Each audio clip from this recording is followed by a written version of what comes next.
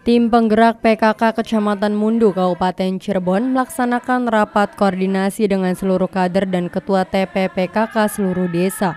Kegiatan ini dilakukan untuk membahas seluruh agenda kerja dan realisasi pelaksanaan program PKK. Seluruh desa disiapkan untuk menjadi lokus binwil yang akan dilaksanakan di 2024 mendatang. Tim penggerak PKK Kecamatan Mundu diminta untuk memahami seluruh agenda dan program kerja. Menurut Ketua TP PKK Kecamatan Mundu, sejumlah agenda kerja dibahas dalam rapat koordinasi ini, terutama untuk meningkatkan keterlibatan para kader dalam mengintervensi program ke masyarakat. Kita melaksanakan rapat koordinasi tingkat kecamatan yang diikuti oleh Ibu Kuwu dan Ibu Kader sekecamatan Mundu.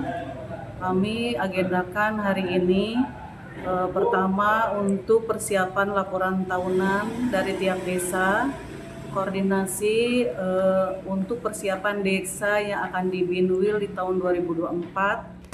Sementara selain membahas program kerja, seluruh kader TPPKK Kecamatan Mundu juga diminta untuk berkontribusi dalam pelaksanaan Festival Layang-Layang dan Nadran yang menjadi salah satu agenda besar di Kabupaten Cirebon. Muhammad Solihin, RCTV, Cirebon.